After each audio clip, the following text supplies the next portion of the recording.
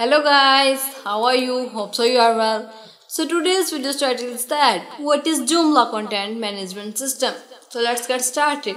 First step, what is Joomla? Joomla is Associate of Content Management System CMS that permits you to create websites and powerful online applications. Several aspects as well as its ease of use and extensibility have created Joomla 1 in all the foremost fashionable information processing system package offered. Better of all, Joomla is associate open supply solution that's freely offered to everybody.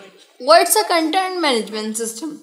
A content management system is packaged that the track of each piece of the content on your information processing system while similar to your native library keep track of books and stores them. Content may be easy text, photos, music, videos, documents or simply considering something you will think about. A serious advantage of employing a CMS is that it's nearly no technical ability or data to manage. Since a CMS manages all of your content you do not that code. What are the some universe samples of Joomla will do? Joomla is employed everywhere the globe to power website of all shapes and size. For example, corporate websites or portals, corporate intranets and extranets, online magazines, newspaper and publications, e-commerce and online reservations, government applications, small business websites, non-profit and structure websites, community-based portals,